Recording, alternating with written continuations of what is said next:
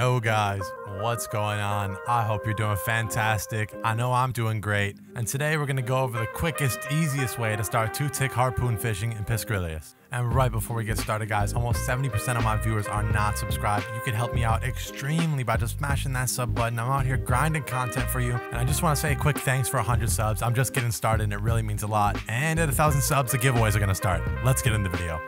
All right, for those of you that care, two-tick harpoon fishing is actually going to be the fastest XP we can get to 99 fishing, but I recommend waiting until 71 to start and doing barb fishing beforehand, and it's also the fastest way to get yourself the heron pet, which is absolutely sick. For the gear and inventory, extremely simple. Let's bring the angler's outfit if you have it, and your best in slot harpoon, preferably the crystal harpoon. In addition, we're going to want to bring runes for any low level curse spell. And we're going to want to be wielding a bow, but with no ammunition. Lastly, and optionally, you can bring any one-tick item. We are going to be fishing in Piscarilius, like I said earlier. The fastest way to get here is going to be the Fisher's Flute teleport on Kharedst's Memories. Make sure you've completed the Queen of Thieves. And if you don't have this unlocked, you can always take a boat to the port. You can come from Hosidius, come from the castle. There's a bunch of different ways to get here. And before we get into it, let's go over to Menu Entry Swapper in our plugins. Go to Object Swaps and make sure that we have Harpoon checked on. And if you'd like, you can head over to the Plugin Hub section of the plugins. We can search for Drop and install left click Dropper. Once it's installed, we can then find it, open the settings, and type in raw swordfish and raw tuna. Thanks to the plugin, we can drop these items with one click and without shift. Alright, I think we're ready to get into two-tick harpoon fishing. Now that we're here, I'm actually going to go to the rats and click tag all because we need two of them to start doing our fishing. And this is what we brought our runes for. We don't want to kill them, they have 2 HP, so we're just going to cast a spell and get their attention.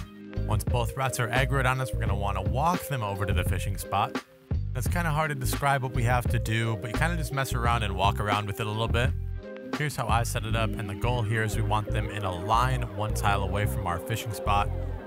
And then once you have this set up, we are going to wait for a hit splat to appear on our character and then walk under that rat. And this should set it up perfectly. You'll know it's set up correctly when you have a hit, a gap in between, a hit, a gap in between. If your hits at any point are stacking up on your character, it is set up in the wrong way. We're not ready to two-tick harpoon fish, but if you're new to tick manipulation or just want some help, you can always turn on the metronome plugin in the plugins. Simply put, to start two-tick harpoon fishing, we're going to click once per game tick, once on the fishing spot, and once to cancel it. Personally, I think the easiest way is to click the water next to the fishing spot, but you also could do any one tick action you prefer.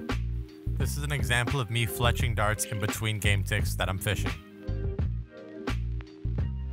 And in this clip, my one tick action is dropping the fish, and I'm also using a metronome here. That is about it. We have made it to the end of the video. That is all there is to it. Thank you so much if you made it this far. Be sure to leave a like if you enjoyed.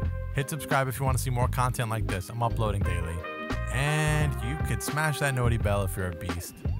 I appreciate you. Thanks for 100 subs. And I'm out of here. Later.